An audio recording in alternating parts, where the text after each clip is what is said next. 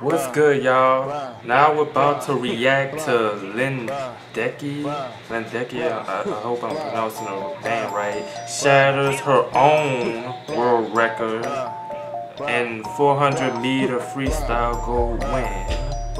Wow, she must have, she must have just, just put in that work for her to shatter her own shit. But um, let's get into it and see what it's all about. More than a second and a half she was at that final turn ahead of her own world record. Oh. Uh, she may be like a rock climber, but speeded up times 10. She looks like a bird taking off the water now. Still ahead of that world record by a full second. She's going to... Wow.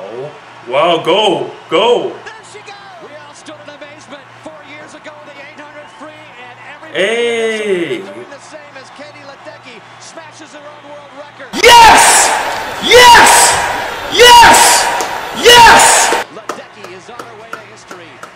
At these Rio Games. If Leah Smith just hmm. realized she won the bronze or if Katie Ledecky just broke the world record, either way, smiles from both of them. That was just so beautiful. Unbelievable swim. 356. Shit. Wow, she broke her own shit. Like. Alright, y'all. Congratulations to her for that effort she um displayed in that man. You know, for somebody to break their own world record, it- it's crazy. And you already know, man, when it comes to Olympic Games, I'm Team USA everything.